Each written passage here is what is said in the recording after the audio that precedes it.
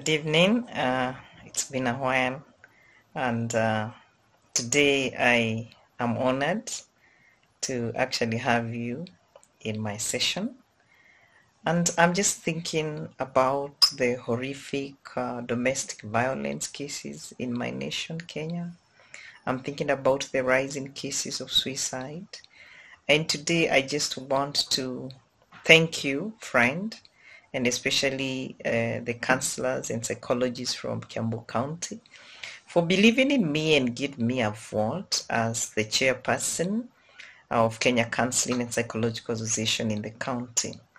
I believe we shall work together. I believe we shall serve together. I believe we shall have partners. I believe the leadership of Kiambu County is going to come on board, especially the government, the health sector, the social and development sector, the public health, and the local administration, the teachers, that is the education docket, and every uh, uh, other member or uh, citizen of Kiambu County so that we can work together and fight all the evils and the ills that have come with COVID-19 pandemic stressors. So today I just want to talk about uh, being able to live and to cope with negative emotions like anger, guilt, fear, anxiety, and hurt. Because right now, when you think about many people that are fighting, many people that are becoming violent, very many people that are dying by suicide, it means that they experience these overwhelming negative emotions, but they do not know how to cope with them. And that's why some of them are resorting to violence. And today I can talk a little bit about anger as one of the worst emotions that can escalate into rage. And the minute somebody is enraged, then it's so easy for them to harm themselves and harm another person. How do you stay calm with anger? How do you befriend anger? I would like to talk about you becoming aware that you are angry. An angry person, first and foremost, perceives the world or a relationship they are in as unfair.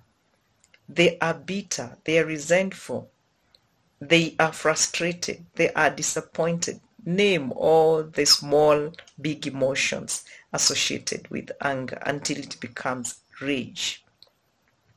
And at this point, you find some people, when they get very angry, they can scan that in the body if they become mindful. There's those who say, I feel anger in my heart, in my chest. I feel anger in my mind, in my brain. I feel anger in my stomach. I feel anger in my fists. I feel anger in my shoulders. It's important to say where it is in your body because that minute that you're able to locate that anger in your body, then you will say you are getting in touch with it. And if you have this small education I'm giving you right now, you can befriend that anger, that anger inside of me. I'm feeling like harming myself. I'm feeling like harming somebody else. I'm feeling like damaging something you know because we have seen people damage property we have seen people make hasty decisions we have seen road accidents because people are angry they are enraged we have seen murder cases we have seen all sorts of human atrocities that are built out of anger and so you can tell anger within your body i will not run away from you anger I want to befriend you because you are an emotion that the human race experiences world over. And I am going to stay with you, difficult as you may be. And you can just relax within that breath. And for those people that feel that this emotion is too overwhelming, you can calm it with that breath of life that all of us share. And you can breathe in and breathe out. You can breathe in and out. Notice it's breathing in using your nostril and out using your mouth. Notice the rising and the falling of your chest as you breathe in and as you breathe out. You can close your eyes like I have done, fully or partially, as you feel safe. Because there are people who close their eyes and they feel unsafe or more anxious. It is okay if you can open them. You can also get into the habit of, uh, if you have soft objects like this ball, you can squeeze it and that can release some of the anger, the tension, because anger is tension that is inbuilt, very strong, that can destroy. Or if you have small, maybe um, balls, stress balls, I call them, that you can actually uh, press like I'm doing and releasing. And also when you're doing your breathing you can find that your body as you release you exhale your breath you can find that you are feeling which parts of your body have tension and that is also a way of distracting you from what could be making you angry because when I put my concentration on this ball my attention comes here. But if I'm angry at my child, I'm angry at my spouse, and I divert to something else, it means my attention is no longer on them. And so if they are my source of anger, that diffuses the negative energy. And that is why in the African traditional setting, men have always been known to walk away. The minute you keep quiet and you're mindful and you have the normal breath and that emotion is being softened within you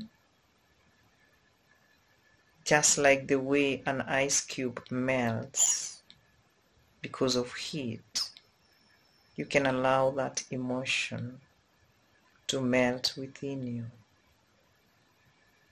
And you will be so amazed when you realize that the universe, the world around you, is full of calmness and peace.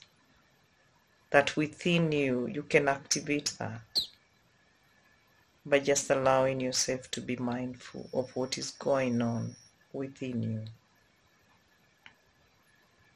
and you might be shocked that you're becoming calmer and calmer and calmer. Your muscles are relaxing moment by moment. And you will equally be shocked to learn that if you're so enraged and you're so angry, you're either thinking about things that happened in the past or things that you imagine are going to happen in future. And mostly those are your fears and your worries. But when you press this soft ball, right now I can feel my fingers here. And my attention is all here. In the moment, right now, I'm living in the present. And I can take in more breath if I wish. I know most people may not have soft balls like these ones, but you can use your hands. Clench them, release them. Clench, release them. If you can't walk away, if you can't do anything, if you're in a safe environment, just use your breath. And in that way, the negative emotions that overwhelm you within, and today we've talked about anger, name it, scan it within your body, allow it to soften, allow it to be within your body. It will go. And it's not being a coward. It's about being resilient and tolerant. And when you do this more and more often, it becomes your lifestyle. And that is going to be your way of life. And so even when you get angry, that anger will not take the better of you because you are taking one moment at a time. You're living in the present moment, living within your own breath right now and befriending any negative emotion like anger. Next time, we are going to talk about the emotion of guilt. Thank you. God bless you. Thank you so much for keeping me company always and thank you for subscribing.